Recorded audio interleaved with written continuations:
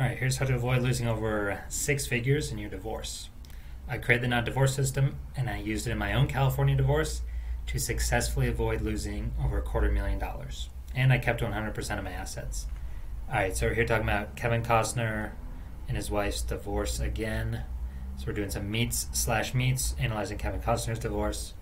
So I thought this was interesting. They had a prenup that basically said signed in 2004 that said um, she had to leave their um, resi- leave their residence within 30 days after divorce is filed.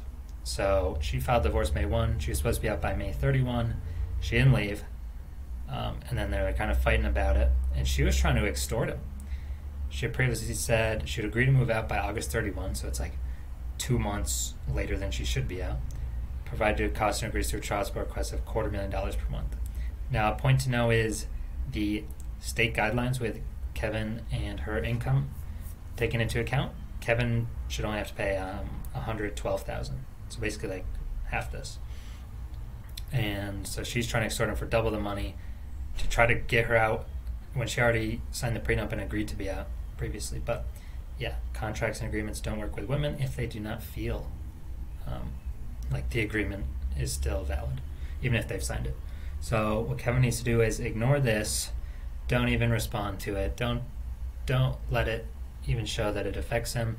Don't let him think. Say, "I'll think about it." Just say no, or better is no response. Women will threaten all this stuff throughout divorce all the time. Remember, my wife threatened um, that she would not sign the divorce papers, even though I get the exact outcome I wanted, and we signed it three weeks after she was served with it. She still tried to play these threat games like this woman. So just ignore it.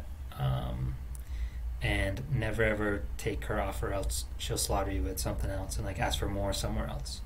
So if you want one-to-one help implementing the not divorce system by its creator me, get in contact ASAP because my prices increase $5,000 for every new client I take on.